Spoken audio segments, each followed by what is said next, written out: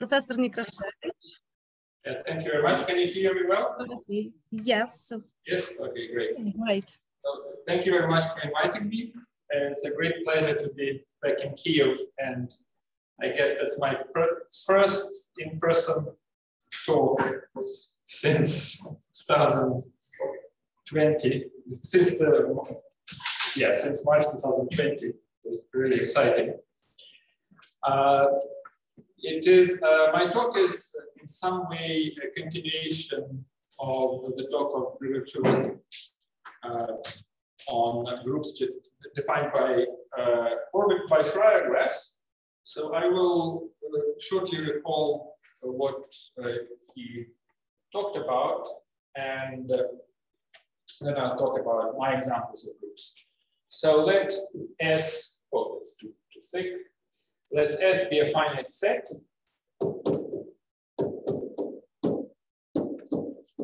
And uh, we say that a graph gamma is uh, uh, perfectly labeled, perfectly S labeled, if uh, for every vertex, uh, it, it, gamma is a directed graph with multiple edges and loops. And if you take any vertex and take all edges that go out, they are labeled uh, bijectively by uh, elements of S. And similarly, so there is exactly one edge labeled by each symbol. And the same is true for incoming edges. So for every letter, there is exactly one edge labeled by that letter. Uh, so if you have a perfectly labeled graph, then for every uh, vertex and every uh, letter S, there, as I said, there will be exactly one edge labeled by that letter. And we, we say that there will be exactly one edge out, getting out of the vertex, starting at that vertex labeled by that letter. So the end of the vertex will be by definition the image of that vertex by the action of that symbol. And because also for the incoming vertices, there is a bijection, this will be a permutation. So uh, every letter will define a permutation of the set of vertices. Uh, so we can then generate, if you have such an S-labeled, perfectly S-labeled graph, uh, then each letter is a permutation of the set of vertices, and we take the group generated by these permutations. Here the group uh, generated uh, by the, these permutation Uh, that's the group defined by the graph. So it's defined by the graph. So uh, the graph, this, in other words, the graph describes the action of the generators. For every generator, you just draw the arrow how that generator acts on that vertex. Uh, it's sometimes natural to assume that graph gamma is connected, which is equivalent to the condition that the action is transitive. And sometimes I implicitly will uh, assume that. Uh, one important observation that the graph itself is not very important uh, because uh, what is important are finite subgraphs. So if you have a product of generators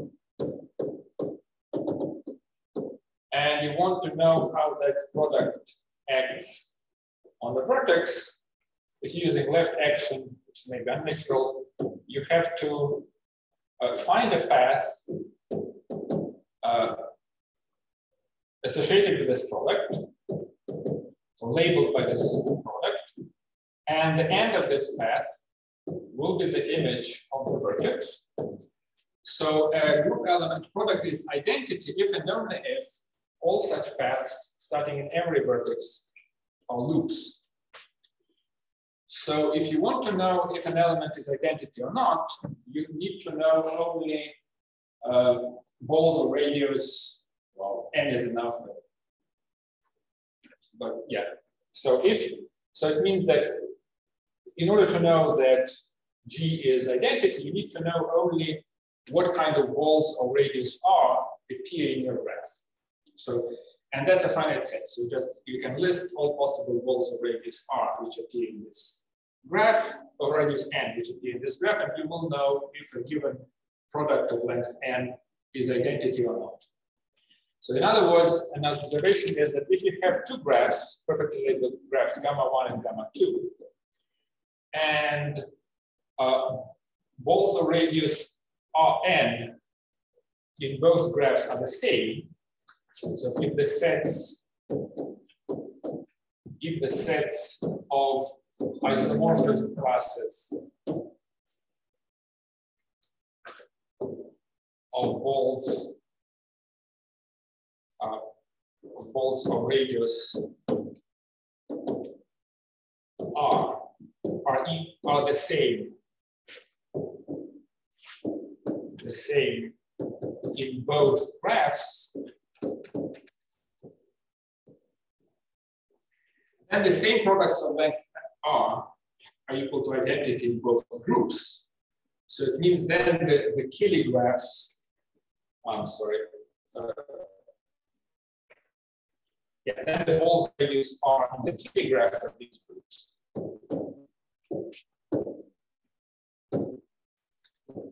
Or radius are in the Cayley graphs are isomorphic. Sorry, let me, let me pop it again. So if you have two graphs, gamma 1 and gamma 2, and the sets of isomorphism classes of balls of radius R. So isomorphism classes are the same in both uh, graphs, then the uh, then the Cayley graphs, also radius are in the Cayley graphs of these groups are isomorphic.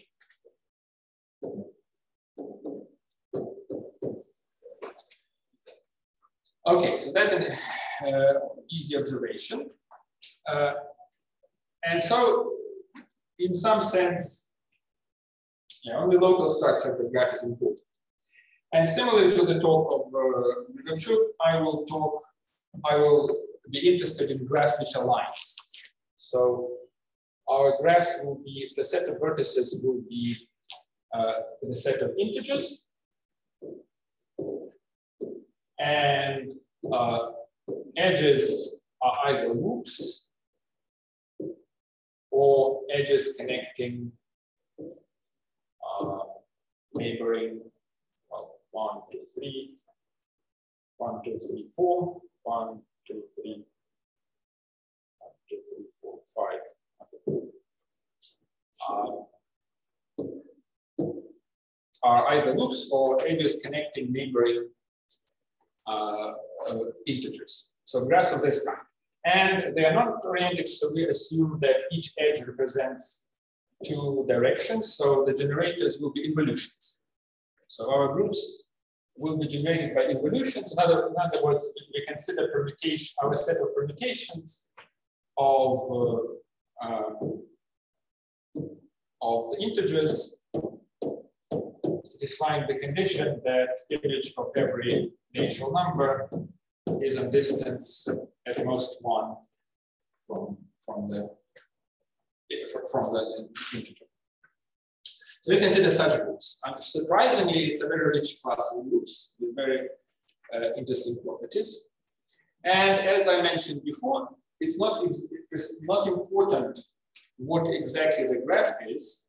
What is important are only finite subgraphs. So it's only important what is the set of finite uh, sub intervals in this graph uh, we get. Remember, these graphs are labels. A, B, C, uh, so so you can describe this graph by a sequence of connections, of connectors. Uh, so for example, one of the ways is to describe for each uh, interval between n and n plus 1, what are the labels of edges connecting n and n plus 1. All the missing labels will be loops. So this sequence will be described by a sequence of subsets, A1, A2, A3, A0, A minus 1, and so on, where AN describe the set, the set of labels of the edges uh, between n to n plus 1. Uh, so this graph will be described by such a sequence. And by what I uh, mentioned a minute ago, the sequence is not important. What is important is the set of finite subwords of this sequence. If you have two sequences with the same sets of finite subwords, these two sequences will define the same group. And that's something that uh, uh, is a subject of symbolic dynamics. If you have an infinite sequence and you consider all finite subsequences which appear there, and then consider all infinite sequences with the same uh, finite subsequences, you get something called a shift, subshift. And so the subshift is what is important. So the important part is this kind of symbolic dynamics of this shift. So the language of this shift. So what is important is the language of all the set of all finite subwords of this. So that's uh, uh, that's what actually also Professor Grigorchuk was talking about in his talk. Uh, and classically in symbolic dynamics, the, there are some notions which are important. For example, the notion of repetitivity. Uh, so a sequence, so suppose we have a sequence over a finite alphabet. So in our case, this sequence uh, of elements of subsets of S, we say that it is repetitive, repetitive. If for every subword subword uh, V, so private segment of W, that exists R such that let's call V such that V appears in W with gaps of length less than R. So what it does, whatever finite subgroup you take, you will see copies of this word everywhere. And moreover, the gaps between these copies are length of these gaps are bounded by R. So it's like, it's a form of periodicity. What's the periodicity? Again, that was mentioned in Grigorchuk's talk uh, that appears in quasi-crystals and things like that. And this is related to the condition of minimality of the associated subshift.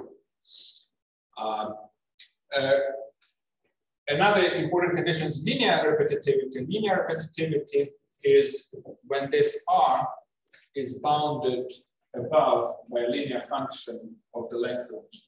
So the best case scenario is that when R is comparable with V. So if R is, less, R is less than some constant times length of V, then we say that uh, the action, that this word is linearly repetitive. Okay, so now I formulate several theorems. Theorem one, which is a corollary of the theorem by Juschenko, by Kate, Kate Juschenko and Monod, Nicolas Monod, says that if that sequence is repetitive,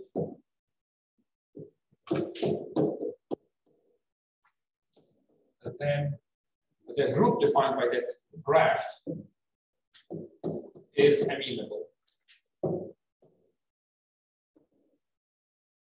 In particular, it will not contain any free subgroups. Uh, another theorem, which is a little bit harder to formulate, I am not formulating it in full generality. Maybe I should start with the slide. Uh,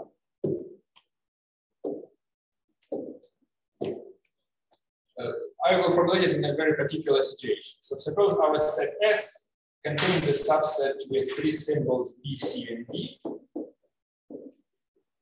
And suppose that W, so that defining the graph is, is linearly repetitive.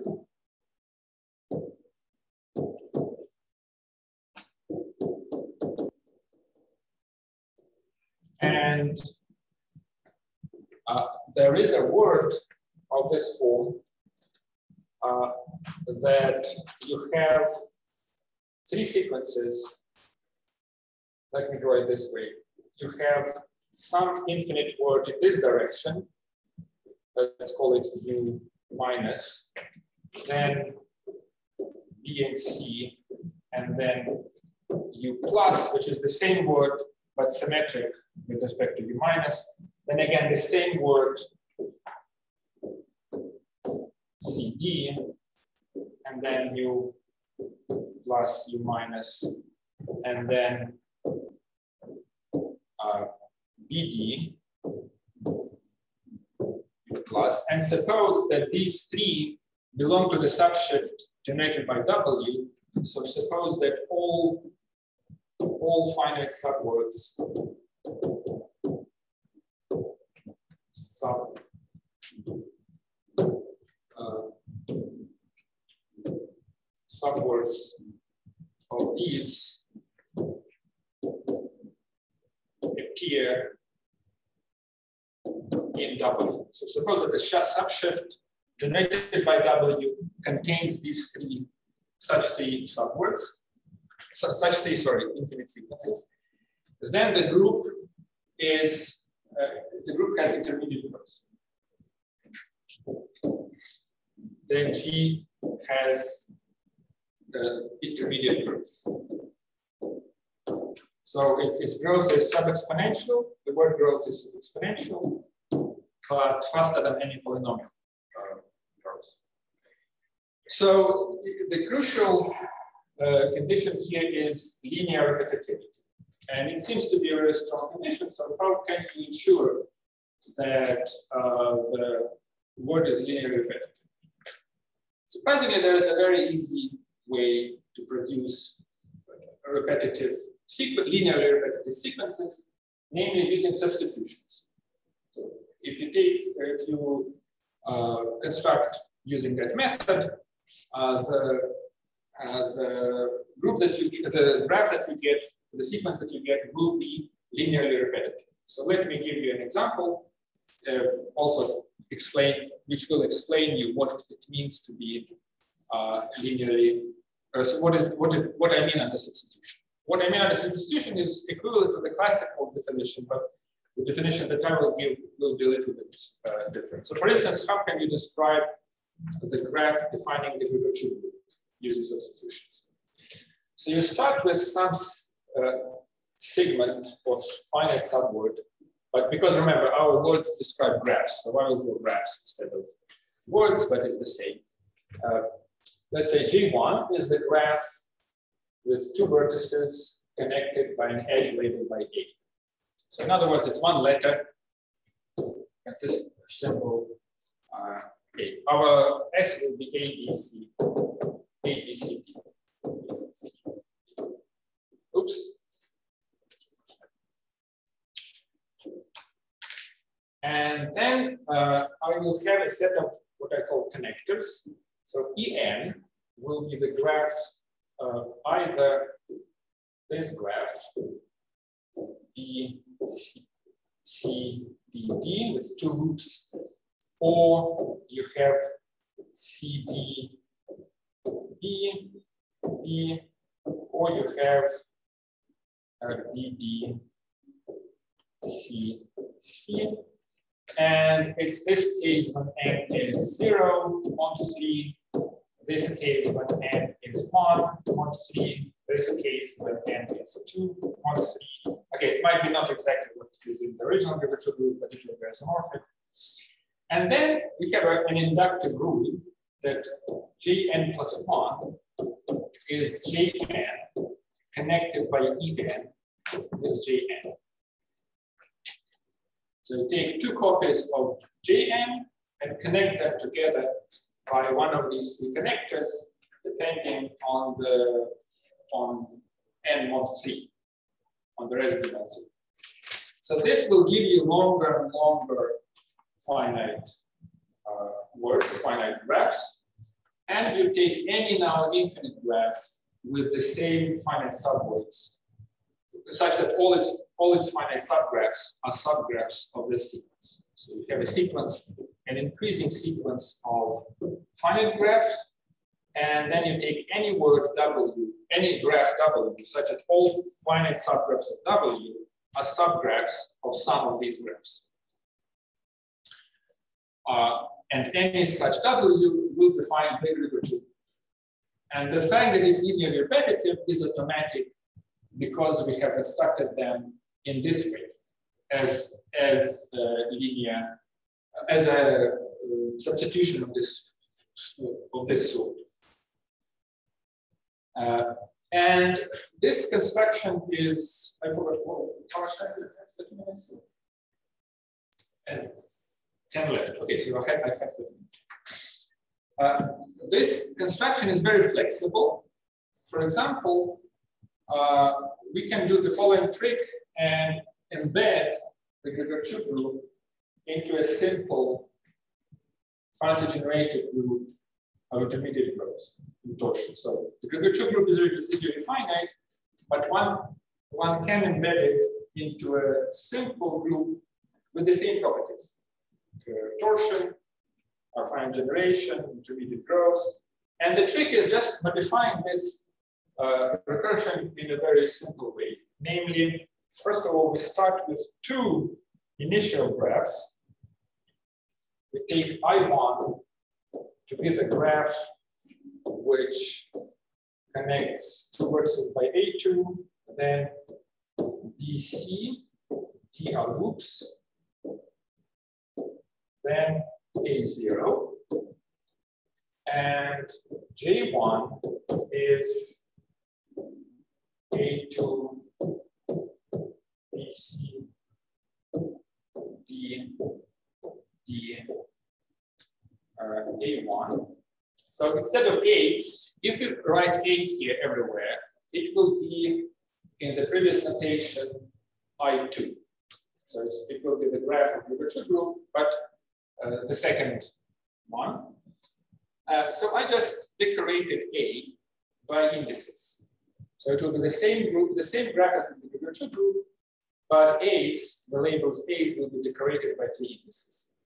Of course, there are some missing A's. It's not perfectly labeled. So in order to make it perfectly labeled, you have to add loops. So for example, here you have to add loops A1, A0, but, uh, but that will be very uh, complicated picture, but that, that's what it will be.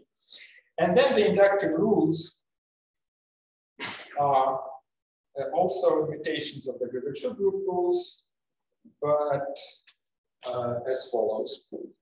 In plus one is Jn En, the same connector as the Grigorchuk group, J inverse, inverse meaning that you flip the graph, you write it in the opposite direction. And Jn plus one is Jn En In flipped.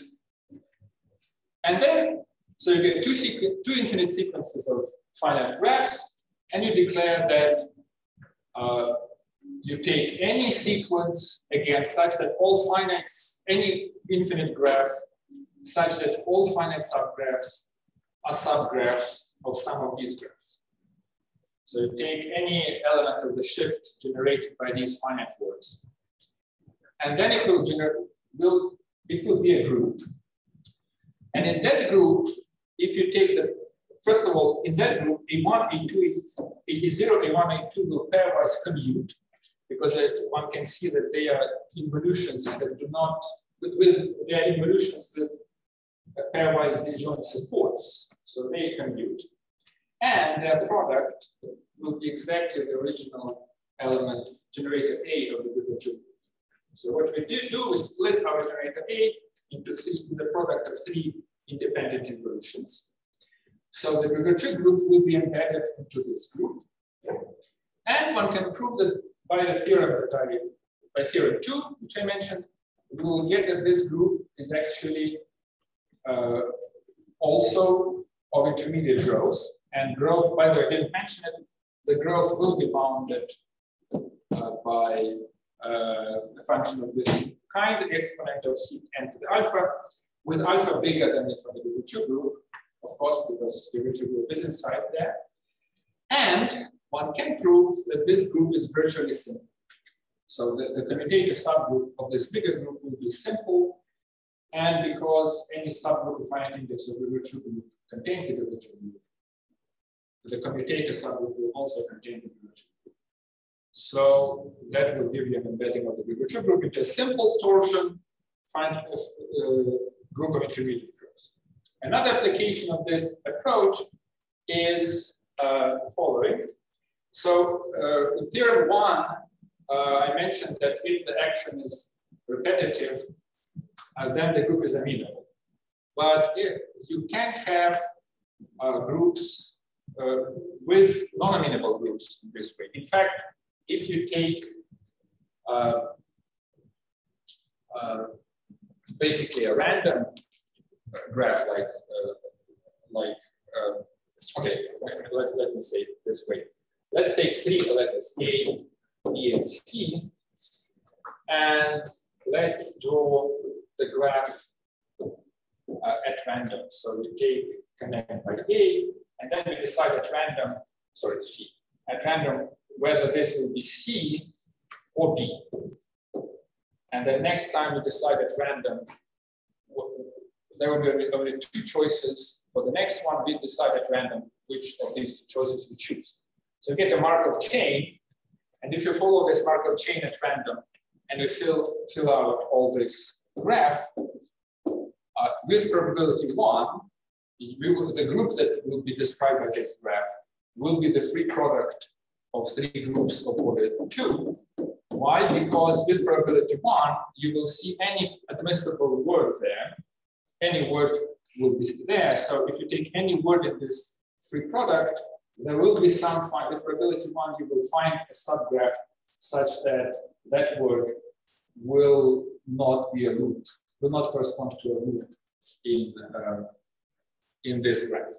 So this will be a free uh, product. So theorem two gives you examples of graphs which give you intermediate growth, this random forcing of maybe not random, it doesn't have to be random, but forcing all possible subwords will give you groups. And now you can combine these two approaches.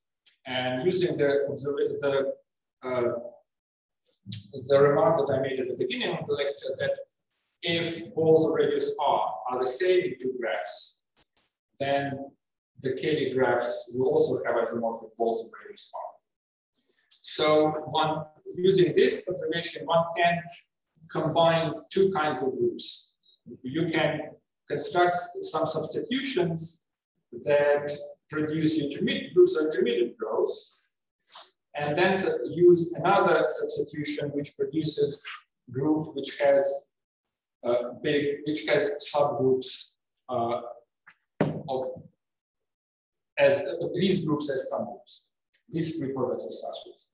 And using the, this fact, you can construct groups that for a long while have Cayley graphs isomorphic to Cayley graphs of groups of intermediate growth, but then for a very long while, the, the Cayley graphs have uh, isomorphic to Cayley graphs, balls in the Cayley graphs are isomorphic to balls in the Cayley graphs of groups of exponential growth.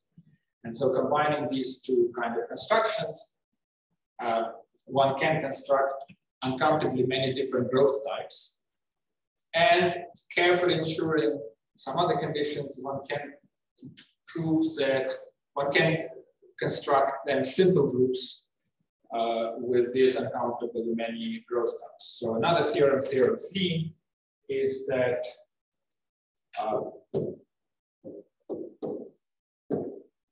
uh, there exists uncountable continuum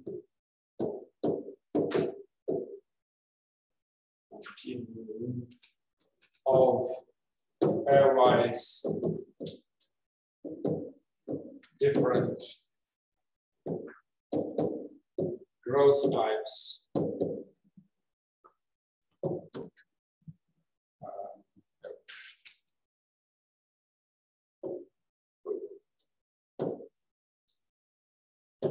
growth types of finitely generated simple groups.